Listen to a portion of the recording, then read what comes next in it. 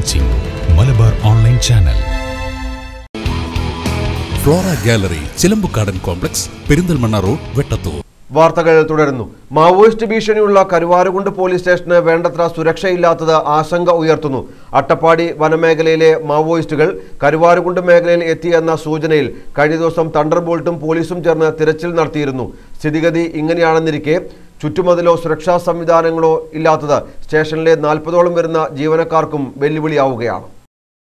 Maoist വേട്ടയ്ക്കായി മാത്രം പ്രത്യേകം പരിശീലനം സിദ്ധിച്ച പതിനേഴ് ഉദ്യോഗസ്ഥർ ഉൾപ്പെടെ മുപ്പത്തി പേരാണ് കരുവാരകുണ്ട് പോലീസ് സ്റ്റേഷനിലുള്ളത്.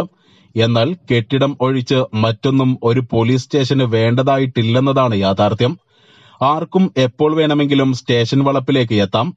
ചുറ്റുമതിലോ കവാടമോ മറ്റു സുരക്ഷാ സംവിധാനങ്ങളോ ഏതും തന്നെയില്ല. ജില്ലയിൽ മാവോയിസ്റ്റ് ഭീഷണിയുള്ള പ്രധാന പോലീസ് സ്റ്റേഷന്റെ അവസ്ഥയാണ് ഇങ്ങനെ. അട്ടപ്പാടി മഞ്ചിക്കണ്ടിയിൽ ഉണ്ടായ ഏറ്റുമുട്ടലിൽ രക്ഷപ്പെട്ട മാവോവാദികൾ കരുവാരകുണ്ട് വനമേഖലയിലേക്ക് കടന്നിട്ടുണ്ടാകാം എന്ന നിഗമനത്തിൽ പാന്ത്ര പുറ്റള ആദിവാസി കോളനി കണ്ണത്ത് മലവാരം തുടങ്ങിയ പ്രദേശങ്ങളിൽ ശക്തമായ തിരച്ചിലാണ് കരുവാരകുണ്ട് പോലീസിന്റെ സഹായത്തോടെ തണ്ടർബോൾട്ട് നടത്തുന്നത്. സൈലന്റ് വാലി ബഫർ സോണിലാണ് മഞ്ചിക്കണ്ടിയും കരുവാരകുണ്ട് വനമേഖലകളും ഉൾപ്പെടുന്നത്.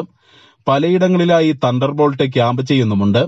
പോലീസുമായി ഉണ്ടായ ഏറ്റുമുട്ടലിൽ മൂന്ന് മാവോവാദികൾ കൊല്ലപ്പെട്ട സാഹചര്യത്തിൽ തിരിച്ചടിക്കുള്ള സാധ്യതയും തള്ളിക്കളയാനാകില്ല. ഇങ്ങനെയൊരു അവസ്ഥയിലാണ് കരുവാരകുണ്ട് പോലീസ് സ്റ്റേഷന് യാതൊരു സുരക്ഷാ സംവിധാനങ്ങളും ഇല്ലാതിരിക്കുന്നത്. News bureau Karuvarakundu.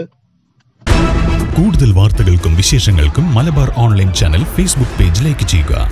YouTube channel subscribe ചെയ്യുക.